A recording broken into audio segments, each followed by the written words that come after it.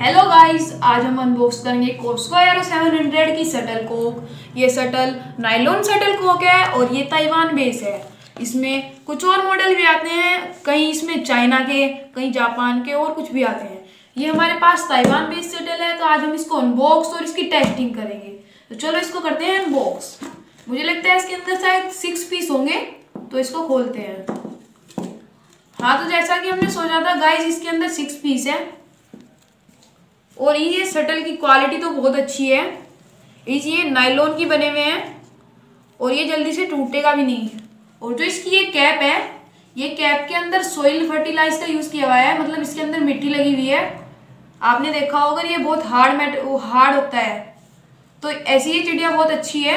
हम इसका आगे जाके टेस्ट भी करेंगे। तो अब हम इसको देखते हैं, ये चिड़िया कितनी ड्यूरेबल हो सकती है। हम अब इसके बारे में बात करते हैं। ये चिड़िया की ड्यूरेबिलिटी पता चलती है इस पर लिखा हुआ है कि ये प्लास्टिक फैदर है, ठीक है? और इसकी जो फ़्लाइट है वो मतलब अच्छी है, वो जहाँ मारते हैं, वो वहीं जाके गिरती है। और ये ताइवान बेस है, और ये हॉबी प्ले मतलब अच्छा खेलने वालों के लिए बनी हुई है, ठीक है?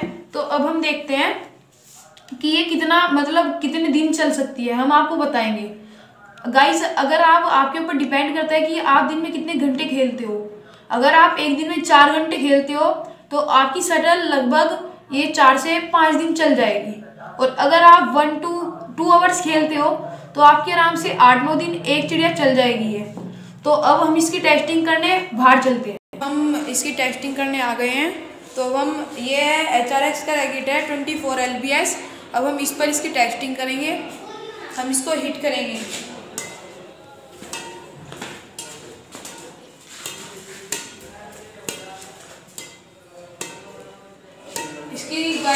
स्टेबलाइजेशन बहुत कम है। ये मतलब सीधी नहीं गिरती है, तब भी रैकेट पे गिरती है, देखो।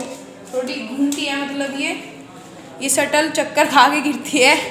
देखो देखो कितने चक्कर खा रही है, देखो। अब हम इससे गाइस वॉल प्रैक्टिस करके देखेंगे। तो गाइस अब हम वॉल प्रैक्टिस करते हैं, देखिए।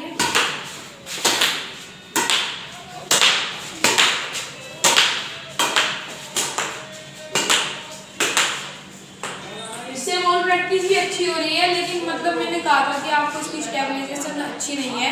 तो इस वजह से ये थोड़ी मतलब इधर उधर हो जाती है। देखिए। ये थोड़ी मतलब मूव करती है। अब हमने दूसरी शटल उठाई है, हमने एक शटल तो टेस्ट कर ली, अब दूसरी वाली की बारी है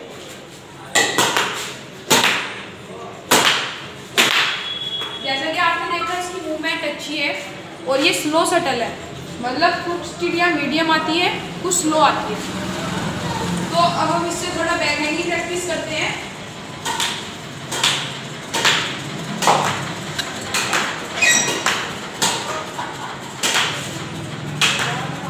तो okay guys thank you for watching video like and subscribe and share